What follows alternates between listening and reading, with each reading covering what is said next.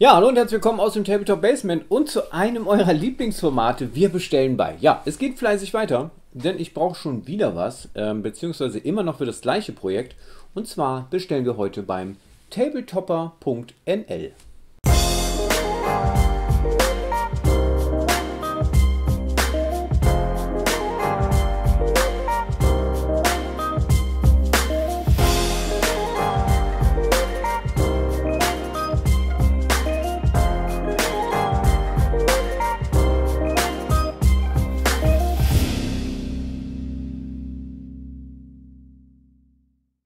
Ja, wer dieses Format noch nicht kennt, wir machen das aus privaten Zwecken, um euch zu zeigen oder beziehungsweise um euch ein bisschen die Angst zu nehmen, bei verschiedenen Shops zu bestellen.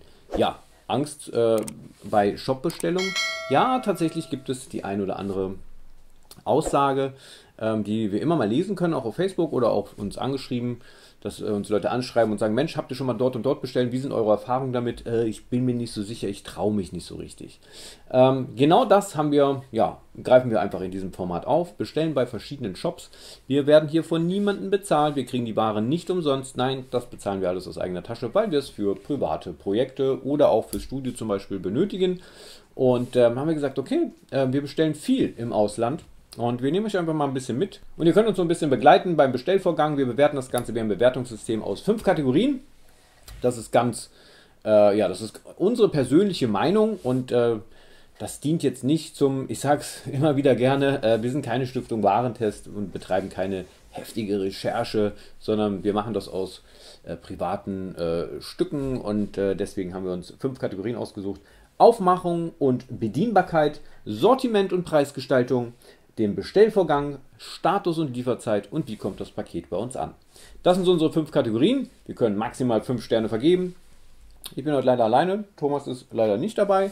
Ähm, aber ich bestelle heute beim tabletopper.nl. Warum beim tabletopper.nl? Was ist da so besonders? Das zeige ich euch.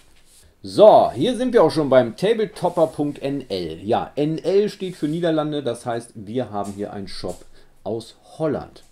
So, warum bestelle ich denn jetzt in Holland? Ja, das ist ganz einfach, denn ich möchte mal schauen, wie man den englischen Markt umgehen kann. Denn wir haben natürlich das Problem mit Zoll und so weiter. Ihr wisst es, Brexit und auch äh, das äh, The Big C und so weiter. Und äh, ich brauche tatsächlich was von Empress Miniatures. Und das kriege ich nämlich beim tabletopper.nl. So, aber wir gucken uns erstmal die Seite an. Aufmachung und äh, Bedienbarkeit. Ich habe das vorher auch schon wieder getestet. Ähm, wir haben äh, ein äh, responsives Design, das heißt, es funktioniert auch auf dem Smartphone. Und gucken wir einfach mal, hier oben läuft, läuft auch schon so ein Laufband, über 3500 Produkte, 65 Euro innerhalb Niederlande gratis Versand. Und das da oben kriege ich jetzt nicht aktualisiert wahrscheinlich. Ich weiß es nicht. So, wir haben ein kleines Logo. Wir haben hier ein Suchfeld, eine Suchfunktion. Mal gucken, wenn ich äh, jetzt mal eingebe Flames of War. Ja, es wird mir direkt angezeigt. Ähm, das heißt, wenn ich jetzt hier weitersuchen würde, Flames of War äh, German. Ja, es wird mir direkt angezeigt und ich kann hier noch alle weiteren Ergebnisse 55 mehr anzeigen lassen. Also Suche funktioniert tipptopp. Ähm, wir haben hier oben ein kleines Warenkorbsymbol. Wir haben hier automatisch auf Euro umgestellt. Natürlich, wir sind doch in, in den Niederlanden und nicht komplett im Ausland.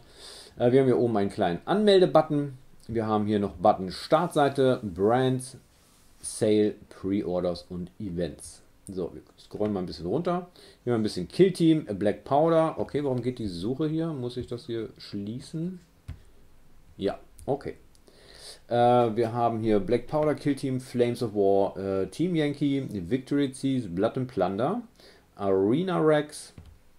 So scheinen so die Hauptgeschichten zu sein. So, entdecken Sie unsere Produkte neu in unserem Shop, äh, unsere Empfehlung und beliebt. Hier haben wir Battlegroup Stalingrad, ist ein ähm, Pre-Order.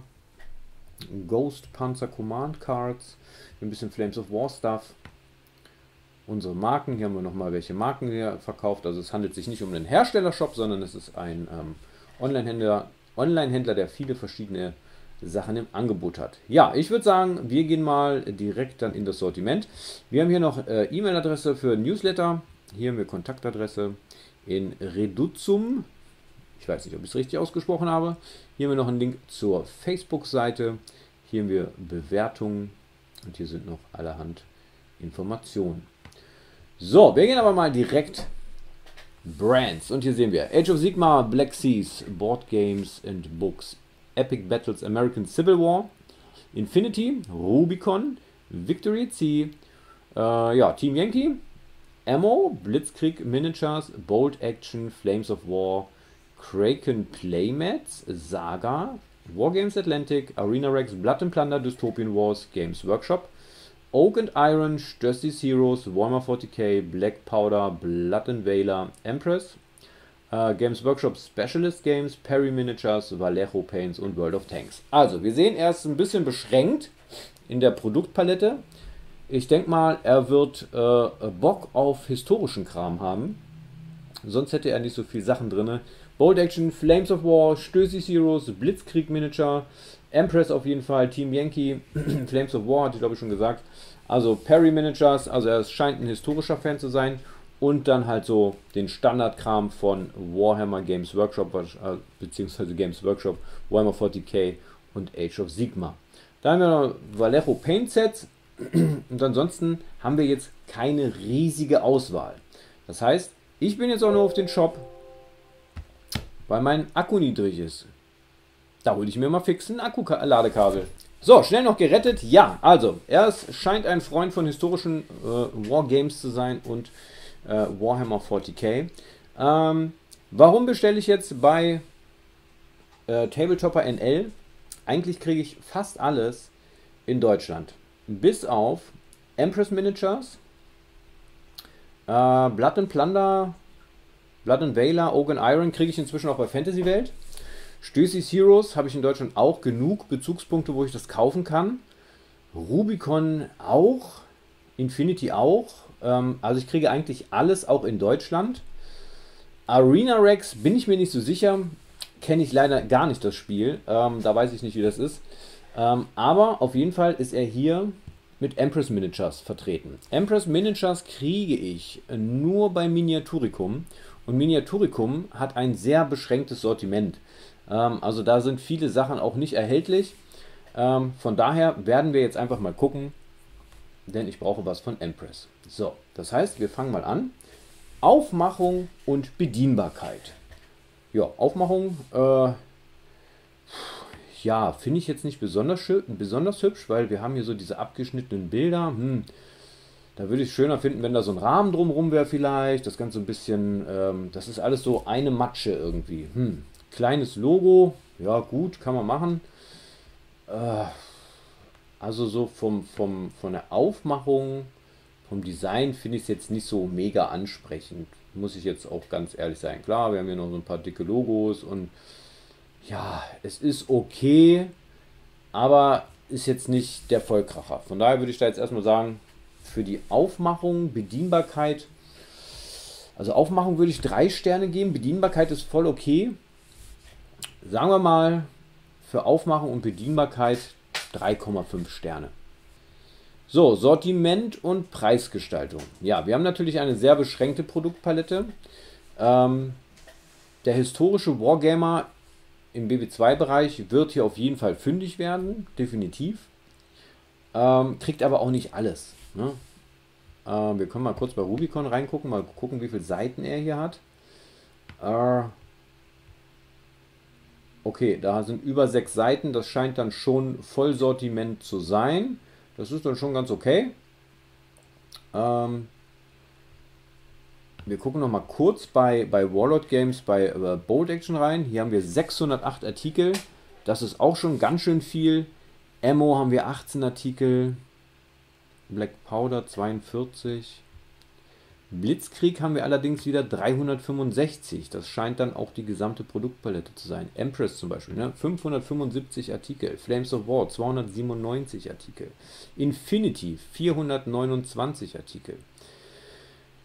Ja, ich, ich äh, gehe mal davon aus, dass das so ein Liebhaber-Shop ist oder beziehungsweise ein Shop ist, der sich aus Liebhaberei entstanden hat. Man kann hier genau sehen, was hier der Shopbetreiber gerne zockt. Das ist Infinity. Das ist äh, WB2-Systeme. Ähm, sicherlich spielt auch ganz gerne mal Age of Sigma oder Warhammer 40k. Und ähm, Blood and Plunder findet er irgendwie auch ganz interessant. Dazu so ein paar Farben. Was haben wir bei Vallejo Paints? Äh, haben wir elf. Elf Produkte. Also wir haben hier überhaupt gar kein Zubehör.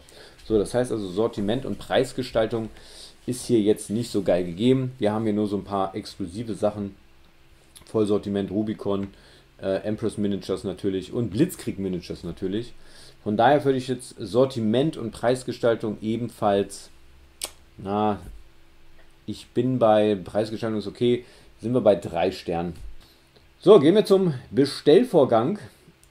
Ich brauche was von Empress und auch bei Rubicon habe ich einige Sachen gesehen, die ich ganz interessant fand.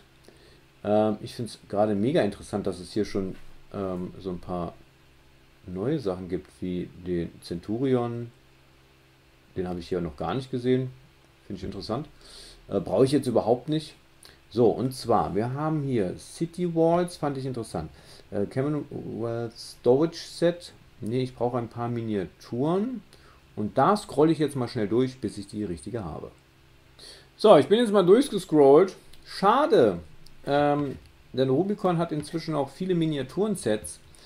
Äh, leider nein, weil wir haben ja tatsächlich sechs Seiten und es hört dann auch tatsächlich auf. Ähm, ich hätte mich gefreut, dass es noch weitergeht, aber nein. Äh, schade. Das heißt also kein Vollsortiment von Rubicon. Die Miniaturen, die ich gerne gehabt hätte, äh, haben sie leider nicht. Das heißt, wir müssen dann irgendwann mal nochmal bei Rubicon bestellen. So, wir gehen jetzt zu Empress Miniatures, denn deswegen sind wir ja hier. World War II.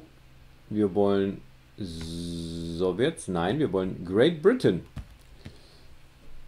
Und wir wollen kaufen. Und zwar brauche ich eigentlich nur ein einziges Figurenset. Und zwar einen Piper. So, den hatte ich hier nämlich bei Empress gefunden. Ich brauche, da ist er schon, Late War British Support Group. 8,50 Euro, vier Miniaturen. Hier haben wir einen Sniper mit dabei. Wir haben hier einen Piper mit dabei. Ja, wir haben hier, was ist das noch? Ein 2-Inch Mortar und ein mit einem Radio. Okay. Ähm, ich brauche eigentlich nur den Piper. Der Scharfschütze ist ganz nice, mit, wenn er mit dabei ist. So, wir wollen das zum Warenkorb hinzufügen. Weiter zur Kasse. Nein, wir gucken nochmal. Äh, wenn wir schon mal hier sind, dann können wir mal gucken. Denn ich habe jetzt nur einen einzigen Miniaturenblister. Das ist ja fast, äh, kann man ja fast nicht machen. Wir gehen mal auf Germany, denn ich glaube, ich hatte hier auch äh, Verwundete gefunden. Finde ich auch stark. U-Boot mit Crew. Sehr, sehr geil auf jeden Fall. Volksgrenadiere haben wir hier drin. Da gibt es, glaube ich, eine ganze Menge Volksgrenadiere. Genau, die haben nämlich nur Volksgrenadiere. Finde ich auch nicht schlecht. Ne? Äh, Brauche ich tatsächlich auch für das Duell. Allerdings habe ich, glaube ich, die, die Miniaturen, die ich brauche, die habe ich tatsächlich schon. Nein, okay. Dann hatte ich mich hier tatsächlich wohl, hatte ich das übersehen, dann war das wohl ein anderer Hersteller, weil ich hatte Verwundete gesehen. Aber dann ist es okay. So, wir haben, gucken nochmal bei den Amis durch. Ja, die Miniaturen sind schon stark. Also die gefallen mir echt gut. Muss man jetzt mal gucken, wie die jetzt so zusammenpassen mit äh, Warlord Miniature, Miniatures oder jetzt mit Bad Squiddo. Bad Squiddo ist ja eher so ein bisschen rundlicher, die sind so wieder so ein bisschen schlanker. Ja, gut, okay, schade. Äh, dann muss ich tatsächlich nur einen einzigen Blister bestellen. Mal gucken, ob sich das jetzt überhaupt lohnt. So, das heißt, wir gehen jetzt direkt in den Bestellvorgang. Wir haben im Einkaufswagen Empress Miniatures Late War British Support Group. Bestellnummer LB9. 8,50 Euro. Weiter zur Kasse. Einen Rabattcode haben wir nicht. Wir können hier auch mit verschiedenen Sachen bezahlen. Ah, ich habe einen kostenlosen Versand. Nein. So, jetzt gebe ich hier meine Daten ein. So, wir können jetzt Versandart auswählen. Paket Germany, Paket Shop Zustellung. Also Paket Germany kostet 7 Euro. Ist natürlich jetzt heftig, ne? Für einen Blister, ne? Aber ich brauche nun mal diesen Piper, der ist halt einfach wichtig. Ähm, gut.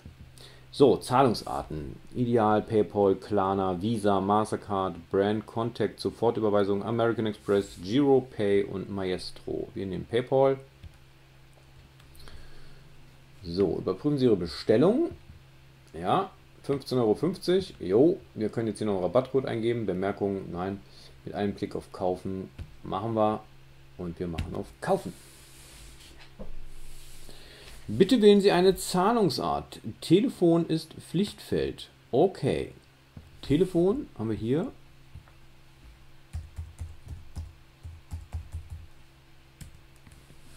Ja, okay. Habe ich.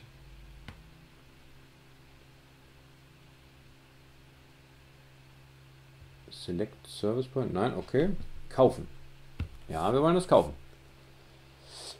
Äh, bitte wählen Sie eine Zahlungsart. Ja, das ist jetzt natürlich schade, denn wir haben gar nicht die Möglichkeit,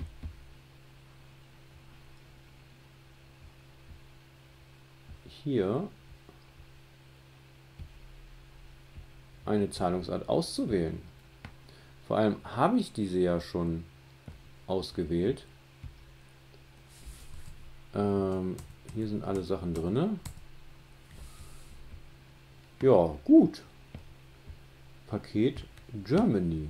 Zahlungsarten. Ja, das ist leider nicht da. Überprüfen Sie Mehrwertsteuer auf Empfänger übertragen. Äh ja, gut. Ich kann jetzt hier nicht bezahlen. Das ist jetzt blöd.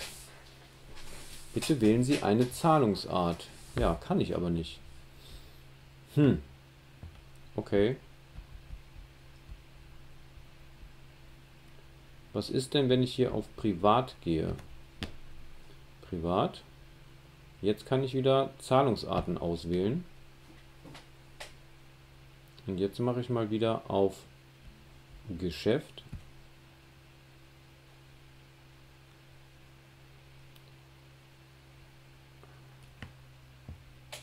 Kaufen.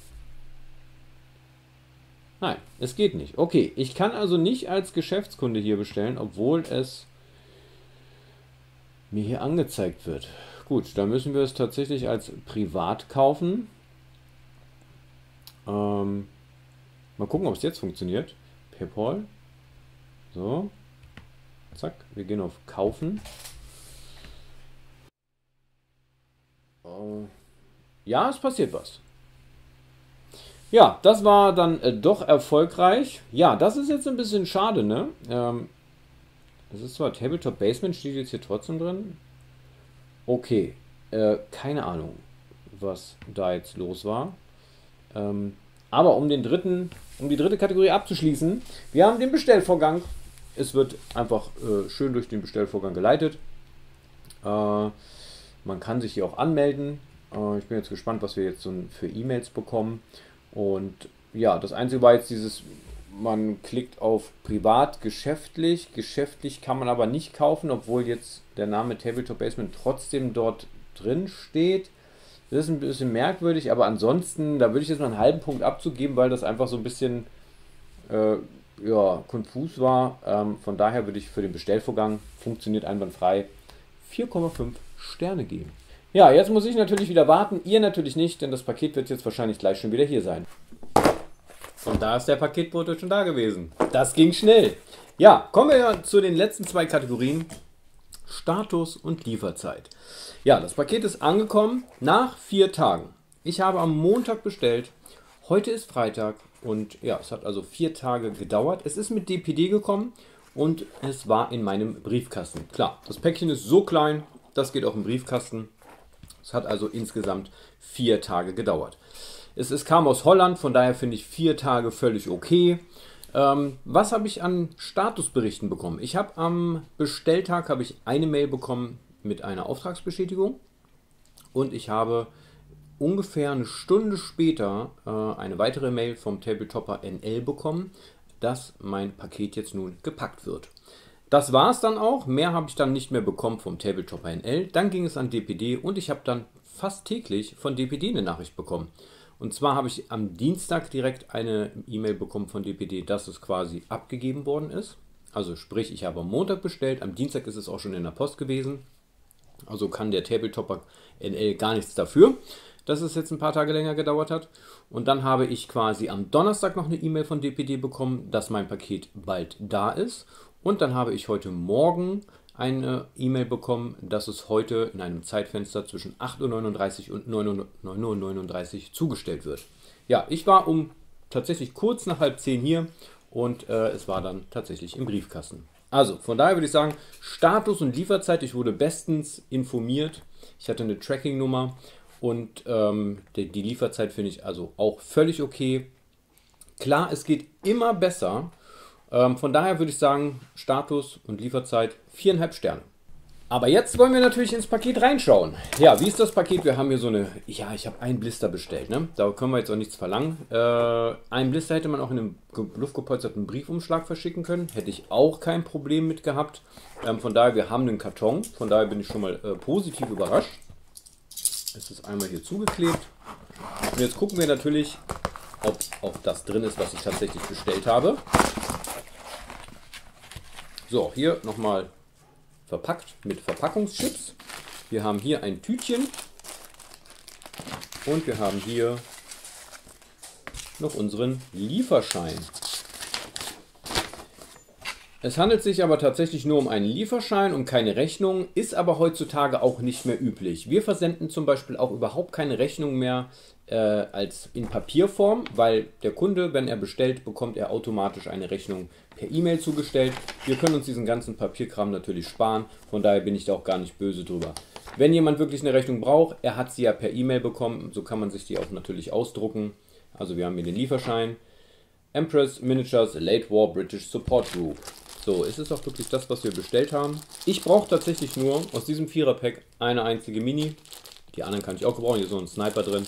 Aber ja, es ist das gekommen, was ich bestellt habe. Ich weiß allerdings nicht, wie Empress normalerweise verkauft, weil das finde ich ein bisschen hm, schäbig, ne? Also eigentlich würde ich mir wünschen, dass zumindest, also hier ist ja nicht mal eine Artikelnummer drauf. Da frage ich mich, wie sortiert er diese Minis? Der weiß ja gar nicht, also entweder er hat so ein Sortierkastensystem, wo wirklich alles drin ist, aber hier ist ja nicht mal irgendein Schild. Ich weiß nicht, wie Empress normalerweise verpackt, aber das ist jetzt so ein bisschen, hm, okay. Ah, könnte ein bisschen hübscher sein, aber muss nicht unbedingt sein, weil wir, verpacken, äh, wir packen die Miniaturen eh aus, damit sie recht schnell bemalt werden. Also, kommen wir zum Paket. Ja, Standardverpackung ist die Ware ist geschützt gewesen. Wir haben keine Dreingaben, wir haben jetzt nicht mal einen Flyer drin. Finde ich immer ganz hübsch, wenn ein Flyer vom Händler drin ist. Oder äh, klar, die obligatorischen Gummibärchen fehlen auch. Ähm, aber ansonsten, das erwarte, ich, das erwarte ich nicht als Kunde, sondern das ist ja immer nur ganz nett, wenn es mit dabei ist. Von daher bin ich völlig zufrieden. Ähm, klar, auch hier geht natürlich besser, geht immer. Viereinhalb Sterne auch für den Bereich. Ja, und somit kommen wir auch zu meinem Abschlussergebnis. Ich habe ausgerechnet insgesamt 20 Punkte. Das teilen wir durch fünf Kategorien. Das heißt, wir kommen auf eine 4. Ja, auch hier äh, ist natürlich das geschuldet am Sortiment. Ne? Das ist so das einzige Manko, wo ich sehe, ähm, auch die Aufmachung und Bedienbarkeit. Die Bedienbarkeit war gut oder sehr gut auch, ähm, aber die Aufmachung war so ein bisschen so, mm, ist nicht so Zeit oder es war nicht mein Stil. Ne? Das kann man jetzt aber, das ist so, glaube ich, eine Geschmacksfrage. Das kann man, glaube ich, nicht so richtig bewerten, beziehungsweise wir haben ja gesagt, wir machen das aus unserem privaten Eindruck, aus unseren eigenen persönlichen Eindrücken. Ähm, da fand ich den Shop jetzt nicht so ansprechend, weil er sehr düster war. Ähm, es fehlte mir so ein bisschen was. Äh, und wir hatten natürlich das Sortiment. Für mich persönlich ist dieses Sortiment nur in zweierlei Hinsicht wichtig. Blitzkrieg Miniatures und äh, Empress Miniatures. Das sind zwei Firmen, die kriege ich hier in Deutschland nicht im Vollsortiment. Klar, wir haben das Miniaturikum, was ein bisschen Empress hat und ich glaube auch Blitzkrieg Miniatures. Aber wir haben nicht so das umfassende Sortiment. Daher kommt der Tabletopper NL für mich in der Hinsicht nur für diese zwei äh, Firmen tatsächlich in Frage. Alles andere bekomme ich hier in Deutschland. Das heißt, ich muss dann nicht unbedingt bestellen. Ähm, aber trotzdem eine solide 4 finde ich völlig okay. Also probiert den Shop gerne mal aus, wenn ihr auf der Suche nach Empress Miniatures und Blitzkrieg Miniatures seid. Äh, ansonsten hat er natürlich, ich habe es euch gezeigt, äh, Blatt und Plunder auch äh, ziemlich äh, voll ausgestattet äh, und natürlich auch einige historische Sachen. Bold Action Flames of War, Team Yankee, Rubicon. aber auch bei Rubicon haben wir gesehen, nicht alles, Ne? Auch da fehlten so zwei, drei Sachen, wo ich gerne was noch mitgenommen hätte. Aber ansonsten könnt ihr diesen Shop gerne mal ausprobieren. Ansonsten, wie immer, dieser Shop hat uns in keinster Weise beeinflusst oder bezahlt, dass wir dieses Video machen. Es kommt aus freien Stücken von uns. Und ähm, ja, jetzt sind wir gespannt auf unsere weitere Lieferung, äh, denn wir haben ja noch äh, ein paar weitere Bestellungen gemacht, auf die wir noch warten. Und äh, Daher sage ich jetzt erstmal Danke fürs Zuschauen. Bewertet gerne dieses Video mit einem Däumchen hoch. Ansonsten schaut gerne mal bei Instagram vorbei. Äh, lasst ein Abo da, wenn ihr noch keinen Star habt, weil es kommen noch mehr von diesen Videos. Und ansonsten wünsche ich euch jetzt ein schönes Wochenende und äh, tschüss, bis bald.